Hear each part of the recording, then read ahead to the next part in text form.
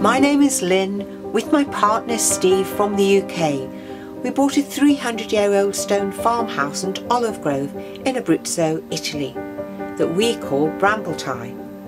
Brambletye is situated just outside a small village overlooking the Adriatic Sea and the Maiella National Park. We've taken on the restoration and renovation of Brambletye ourselves to become our future home. We'd love you to come along with us whilst we learn new skills, a new language, live the lifestyle and explore the region with our dog Button.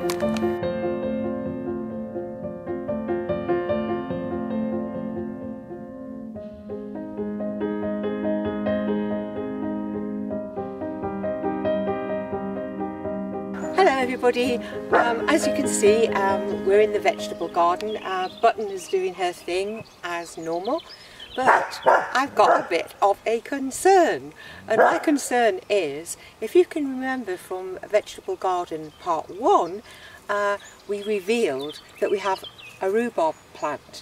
Well this is my rhubarb plant but within the past couple of days this has emerged.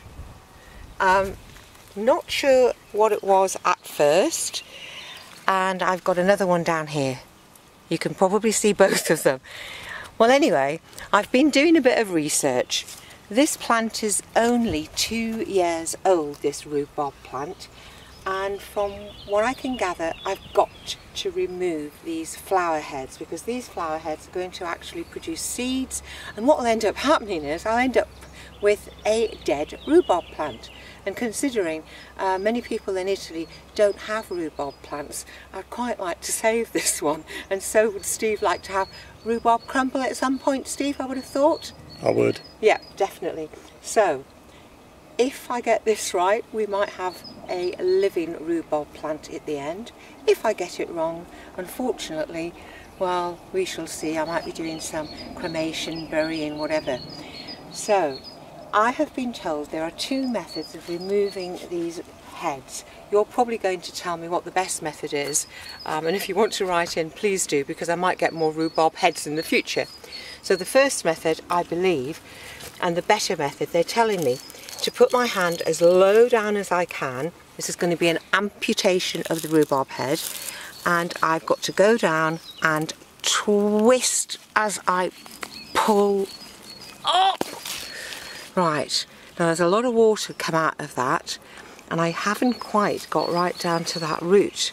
So I'm a bit concerned about that. So if anybody can tell me what I should do there, because that could then be an open wound. So if it's like surgery or anything, what do I do? Do I give it antibiotics? What's the situation? So now I've got to remove the big one. Now will the big one remove better? When I watched it on the video, the lady seemed to remove them quite easily, but I don't know, that wasn't She's probably easy. a proper gardener. Oh, she probably is a proper gardener. So, for this one, right, let's have a look. Have I got twist? Yet again, it's snapped. Right, that's it. Oh. Oh. it's not easy, folks. You might be laughing at me groaning, but I'm still in the twisting motion. Oh. Right, that's that one come out. But look, I haven't pulled out the full root head. So please tell me, what can I do? Can we eat this bit? Can I eat this bit? I have been told I can stick this bit in a vase and we can have some flowers that might seed.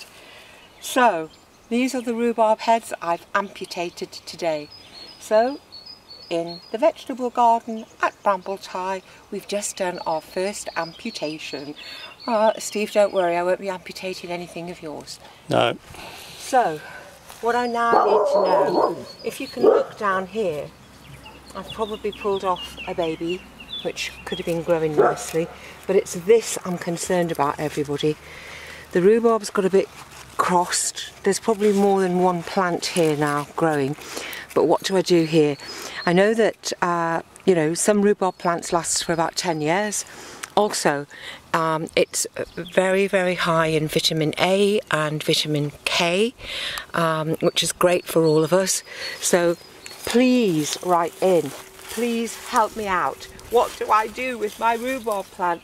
And I think really that's going to be it for today in the vegetable garden at Brambletye. So if you liked it and you've got comments, we'd love to hear because I need to know what I should be doing. Um, please subscribe to us, press that like button and ding that bell so therefore you'd get notifications for when I do my next amputation or whatever else I might be doing in the vegetable garden. So from me, from Steve behind the camera and from Button who, if Steve can manage to see her, she is so contented lying